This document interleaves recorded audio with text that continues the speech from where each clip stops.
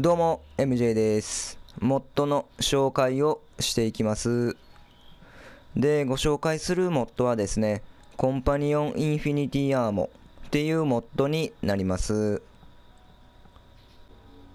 こちらのモッドはですね、コンパニオンの消費弾薬が無限になるモッドとなっております。通常であればコンパニオンに武器を持たせまして必要となる弾薬の方も一緒に装備させる形となっておりますが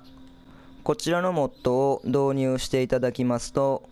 コンパニオンが弾薬の方を消費しなくなるようになっております。で使い方の方も簡単になっておりましてモッドの方を導入いただきますとコンパニオンに装備させた武器に必要な弾薬を一発だけ渡しておくだけでコンパニオンが消費する弾薬が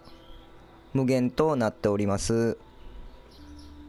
あとはですねロード順になるんですが特に指定の方はございませんが自分の場合はですね上の方にロード順の方を置いてあります。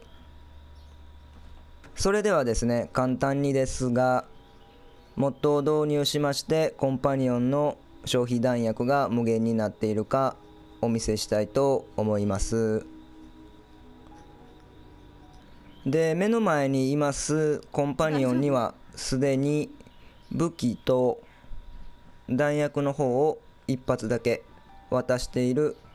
状態となっております。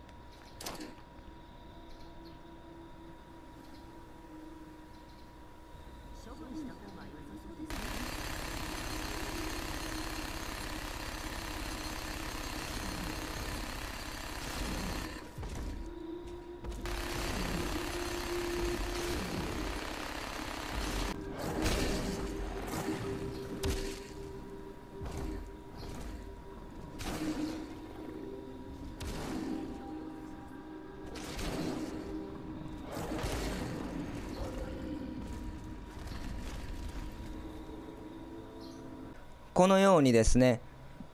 モッドを導入していただきますとコンパニオンの消費弾薬が無限となるモッドとなっております。とても役に立つモッドかと思いますのでまた良ければご自身の方ででも導入の方をしてみてください。ただですねミサイルランチャーや爆発物などは無限にはなりませんのでご注意してください。